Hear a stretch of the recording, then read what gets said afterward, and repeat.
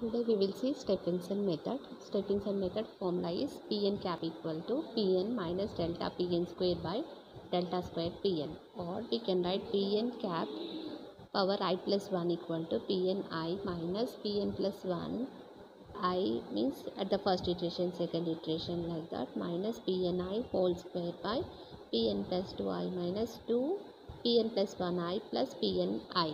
Okay? Now based on this we will see one problem here they are asking to find the root of x cube minus x minus 1 equal to 0 which is lies on closed interval 1 comma 2 using Steffensen method they are asking to find the root of this equation up to the accuracy 10 power minus 2 okay?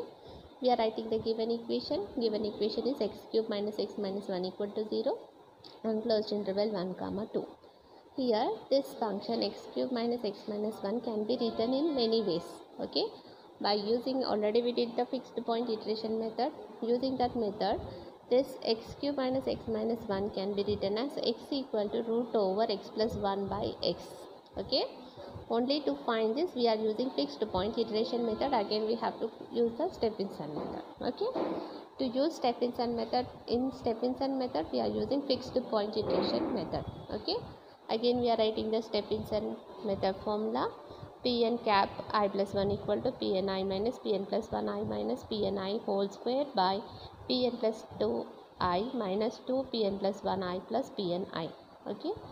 We are assuming that p naught of zeroth iteration we are finding p0 p1 p2 values. So at the zeroth iteration this power represents the iteration okay?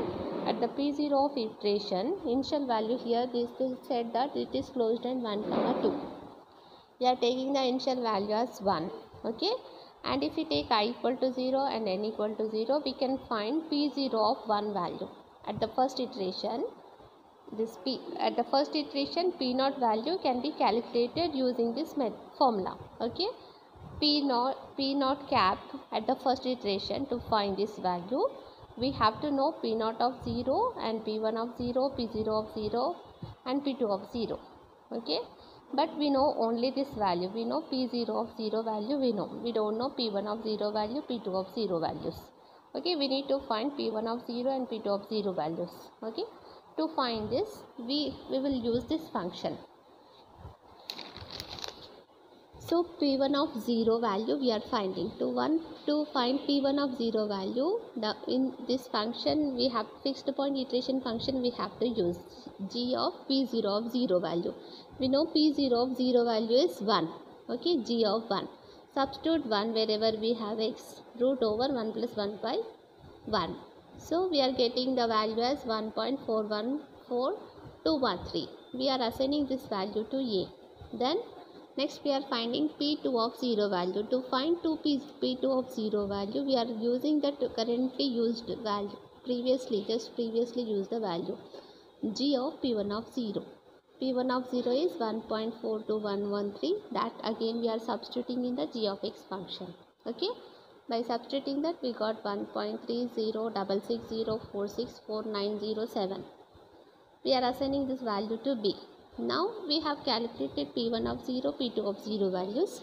Find P0 cap value. The formula is this. So by substituting that P0 of 0, P0 of 0 is 1 and P1 of 0 is 1.414213 and P2 of 0 is 1.306604649007. By substituting these values already we have assigned in AB. By recalling that we got P0 one value as 1.328777 okay? Now this is completed. We have calculated. Next we need to find P0 value at the second iteration. P0 value at the second iteration we have to find. To find that we have to take i equal to 1 and n equal to 0 again.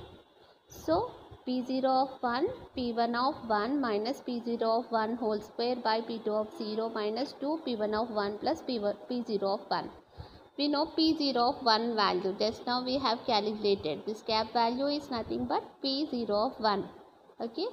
This value we know. We don't know that p1 of 1 value and p2 of 1 value. Now we have to find p1 of 1 p2 of 1 value using this function.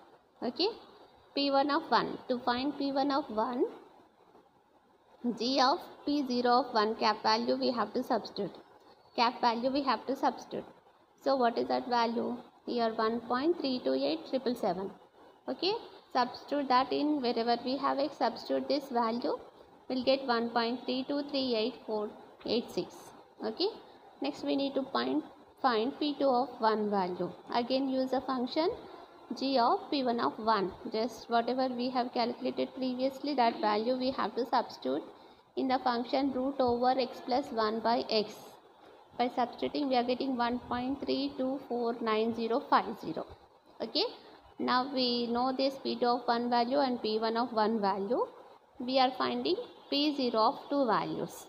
So this p0 of 1 value by substituting p0 of 1 value p1 of 1 value and p2 of 1 values. And we are getting p02 value as 1.324714 here this cap value is p0 of 2 cap value and p1 of p0 of 1 cap value at two decimals 1.32 the values are equal. So we can stop and we can say that this 1.32 is the root of the equation x cube minus x minus 1